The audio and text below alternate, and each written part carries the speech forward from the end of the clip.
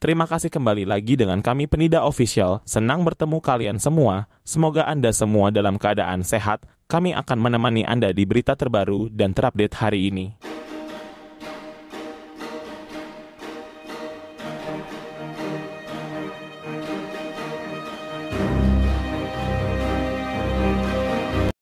Polisi telah mengidentifikasi pengemudi mobil Fortuner yang terlibat dalam insiden cekcok di jalan tol Jakarta Cikampek sebagai PWGA yang merupakan adik dari seorang pensiunan TNI berinisial T.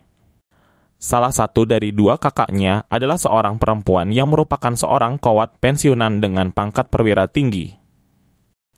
Menurut Anggi, PWGA bukanlah seorang prajurit TNI, melainkan seorang sipil. Saat insiden cekcok, pelaku menggunakan plat palsu TNI dan mengaku sebagai adik seorang jenderal. Benar, menurut Anggi, PWGA memang bukan anggota TNI. Plat nomor dinas tersebut diberikan kepada kakaknya saat masih aktif dan dipertahankan setelah pensiun.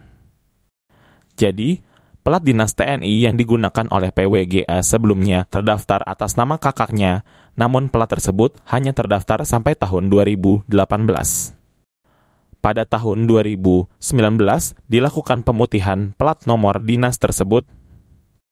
Setelah pemutihan, plat tersebut terdaftar atas nama Marsda TNI dalam kurung Purn Asep Adang Supriyadi pada tahun 2020.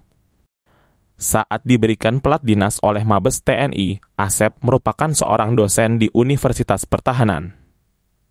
Nomor yang digunakan oleh salah satu kerabat pelaku sudah dihapus pada tahun 2019, namun diterbitkan kembali oleh Mabes TNI dengan nama Pak Asep dan jenis kendaraan yang berbeda. PWGA mengakui telah menggunakan plat palsu sejak 2023 dengan alasan dipinjamkan oleh kakaknya untuk menghindari aturan ganjil genap. Namun, penggunaan plat nomor dinas tersebut hanya diizinkan saat tanggal genap dan dengan izin terlebih dahulu dari kakaknya.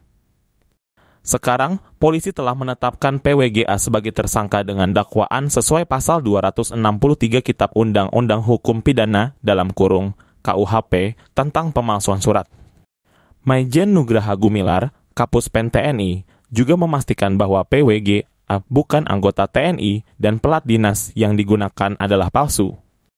Nugraha juga membantah bahwa PWGA adalah adik dari seorang jenderal TNI. Dalam video viral tersebut, terlihat PWG AA terlibat dalam cekcok dengan pengendara lain setelah merasa disenggol oleh mobil pengendara lain yang merekam video.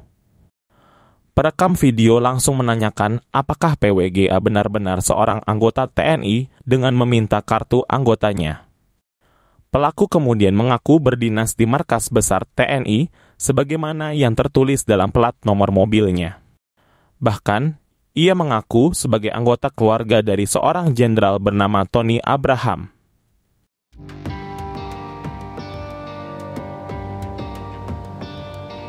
Demikianlah berita kali ini. Kami dari Penida Official mohon undur diri dari hadapan Anda.